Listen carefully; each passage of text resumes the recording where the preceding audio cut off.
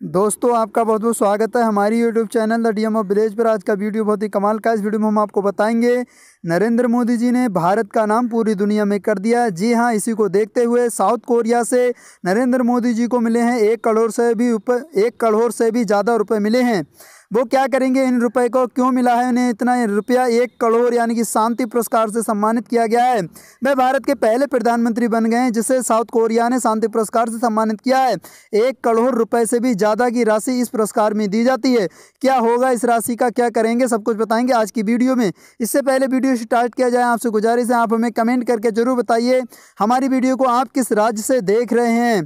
ताकि आपके राज्य से भी संबंधित सरकार की योजना के बारे में, सरकार की नौकरी के बारे में भी वीडियो बनाई जा सके। इससे पहले वीडियो स्टार्ट किया जाए, आपसे गुजारिश है, आप हमारे चैनल को अभी के अभी सब्सक्राइब कर दें, बेल का आइकन ज़रूर दबा दें, ताकि आप देख सकें हमारी वीडियो सबसे पहले। दोस्तों, वीडियो स्टार्ट करते हैं। जैसे कि दोस्तों, अगर आप अनपढ़ हैं तो वीडियो को पूरे देखें एंड तक मैं सब कुछ बताऊँगा आज की वीडियो में। क्या है मोदी को मिलने वाला सियोल शांति पुरस्कार? इतनी मिलती है धनराशि, कितनी धनराशि मिलती है, क्यों मिलती है? सब कुछ बताएँगे आज की वीडियो में। वीडियो को पूरे देखें एंड तक। पीएम को साउथ कोरिया में सियोल शांति पुरस्कार से नवाजा गया है। जानिए इस पुरस्कार के बारे में क्या क्या है इसकी सच्चाई। पीएम मोदी सियोल शांति पुरस्कार के साथ, जैसा कि आपको यहाँ पे दिखाई देता होगा, ये पुरस्कार मोदी जी को मिला है। वीडियो को पूरा देखें, एंड तक। प्रधानमंत्री नरेंद्र मोदी दक्षिण कोरिया के दौरे पर हैं। आज जहाँ उन्हें आज सियोल शांति पुरस्कार से नवाजा गया वह पहले भारतीय हैं, जिन्हें प्रतिष्ठित सियोल शांति पुरस्कार से सम्मानित किया गया आइए जानते हैं क्या ये पुरस्कार और अब तक कौन कौन ले चुका है।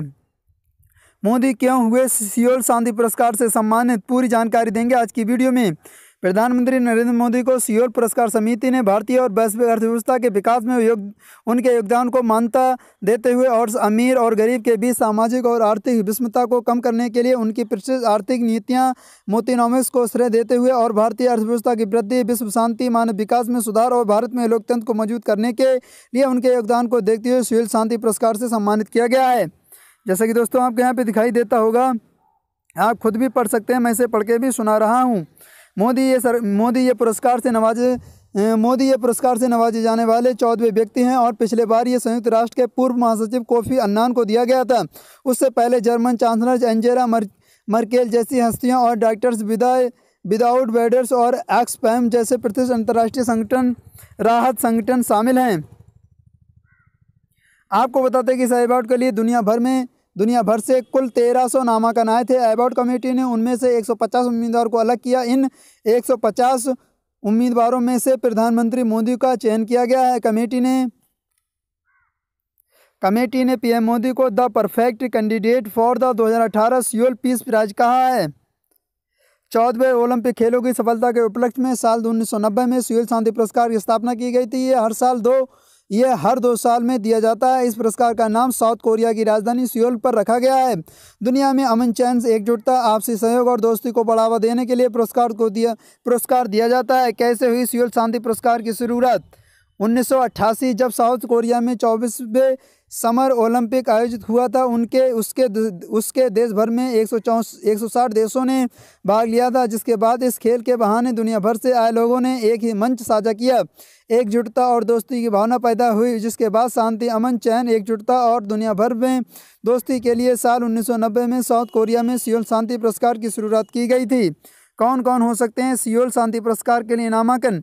सियोल शांति पुरस्कार के लिए सिनेमा, खेल, राजनीति, विज्ञान जैसे कई क्षेत्र प्रसिद्ध लोगों को चुना जाता है, जिन्होंने समान शांति और एकजुटता के लिए कुछ काम किया हो। वहीं जान, वही जीतने वाले व्यक्ति को एक डिप्लोमा और प्रसिद्धि पत्र भी दिया जाता है। इनाम, राशि दो लाख अमेरिकी डॉलर दी जाती है। बता दें कि पीएम मोदी ने पुरस्कार के साथ मिलने वाली एक करोड़ बयालीस लाख बयालीस हज़ार आठ सौ, यानी कि एक करोड़ बयालीस लाख बयालीस हज़ार आठ सौ रुपये की धनराशि नमामि गंगे परियोजना को समर्पित किया है।